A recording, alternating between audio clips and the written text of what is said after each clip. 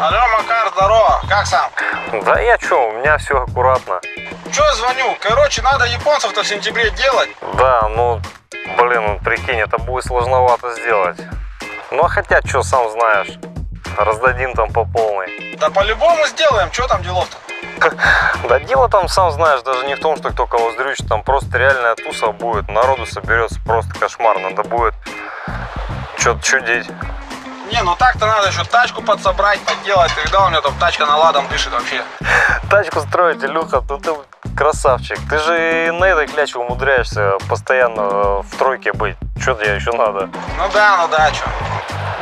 Да, надо красиво, Илюх. Надо по-любому. Не, ну понятно, что надо. Но мы-то не одни.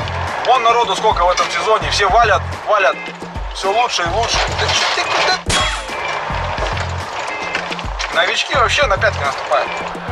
Да понятно, что догоняет. Но это же четко, что мне тебе рассказывать. Больше народу, больше конкуренции, ты сам знаешь. Не, ну да, ну да. Ладно, давай, братух, строй корж. Удачи тебе. И тебе, Макар.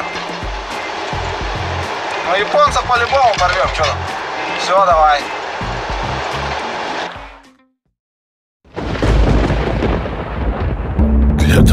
Никогда не опускает руки, возможно все.